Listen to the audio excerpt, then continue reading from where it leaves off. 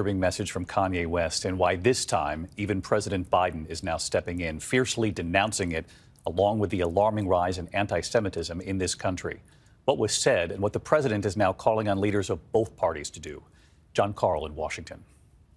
President Biden today condemned the anti Semitic rants of Kanye West, and he's calling on other leaders to do the same tweeting, The Holocaust happened, Hitler was a demonic figure, and instead of giving it a platform, our political leaders should be calling out and rejecting anti Semitism wherever it hides. Silence is complicity. The president's tweet came after another torrent of anti Semitic actions by West, who went so far as to praise Adolf Hitler in an interview with fringe right wing conspiracy theorist Alex Jones and Nick Fuentes, a notorious white supremacist and Holocaust denier. West then tweeted an image of a swastika within a Star of David, prompting Twitter to suspend his account for a second time.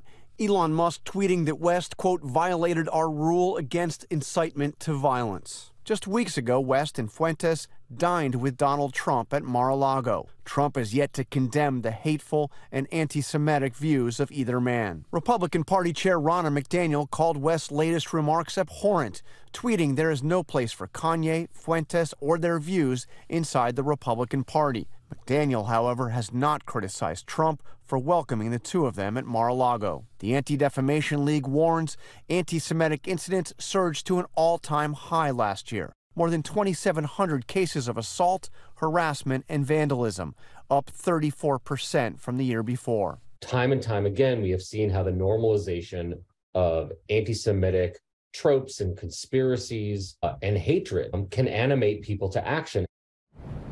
For his part, Donald Trump, who right now is the only declared Republican candidate for president in 2024, has not expressed one hint of regret for his dinner with Kanye West at Mar a Lago since he initially responded to the controversy by noting that West had said nice things about him and asked, Why wouldn't I agree to meet? David? Jonathan Karl, Friday night. Thank you, Jon.